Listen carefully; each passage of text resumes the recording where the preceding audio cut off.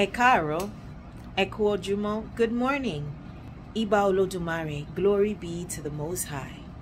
Today is April 12th, 2022, and today is Ifa, Ori Eshu, Oshun Aje Olokun Worship Day. And as always, we have to be so grateful for waking up in the morning, seeing a glorious new day.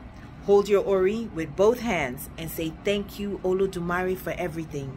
Because remember, gratitude is the attitude that will always lead you to success. This morning, let's administer prayer for the energy of adventure. You who uh, should try something new, go out, take a trip, enjoy life.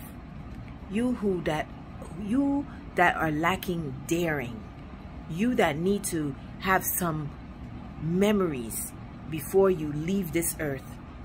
Whether you're older, whether you're growing, whether you're established or trying to establish. It's time for you to go out, create some memories, explore, travel, see a different area than where you are.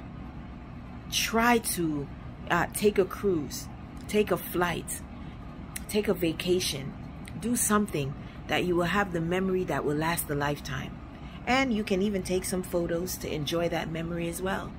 So with that being said, I pray for all of you that's stuck in a monotonous life, a boring existence, that you will break out of your shell, grow wings like a, a butterfly breaking out of a cocoon, and have stability, wealth, success, victory.